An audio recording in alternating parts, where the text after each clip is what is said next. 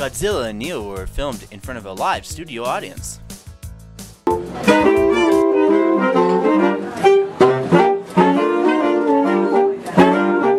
Godzilla, where's my medication?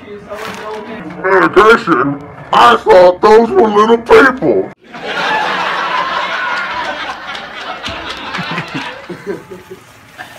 How'd that job interview go? Well, they said that I couldn't work there because I kept eating all the pizzas. How are you gonna pay rent this month? I ate a man and took his wallet. Godzilla!